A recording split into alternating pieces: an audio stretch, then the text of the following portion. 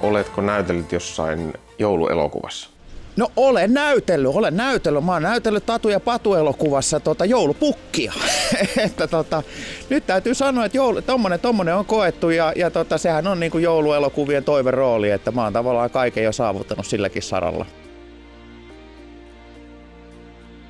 No mieluisin joulumuisto näin tällaisena teknologia-aikana, niin täytyy palata tonne jonnekin 80-luvun puolelle, niin kyllä se on kun joululahja paketista avasin itselleni Atari-pelilaitteen, niin se on mun mieluisin muisto ja siitä formulapeli.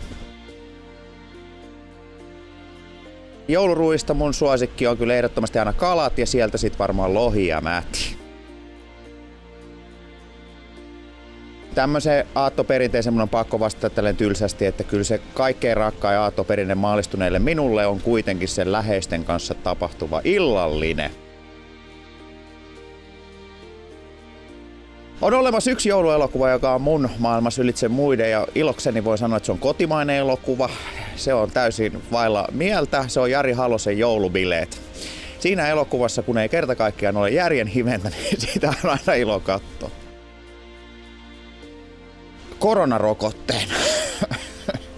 Sitä toivoisin joulupukilta tai koronan päättymistä, mutta jos nyt jotain kivaa tai tämmöistä ehkä arkisempaa sanoisin, niin kyllä mulle alkaisi tässä iässä kelpaa semmoiset tyylikkäät lukulasit. Joulu on sellainen aika, että siinä saa tota kivan vapaan, yleensä tavataan läheisiä ja tota, on ilo katsoa joulusin nuorempia ja varsinkin tietenkin lasten iloa ja riemua niistä lahjoista ja siitä yhdessä olemisesta. Oikein hyvää ja rauhallista joulua kaikille joulukalenterin katsojille. Pysykää terveinä, nauttikaa vapaista ja iloitkaa vuodesta sitten 2021, kun se alkaa.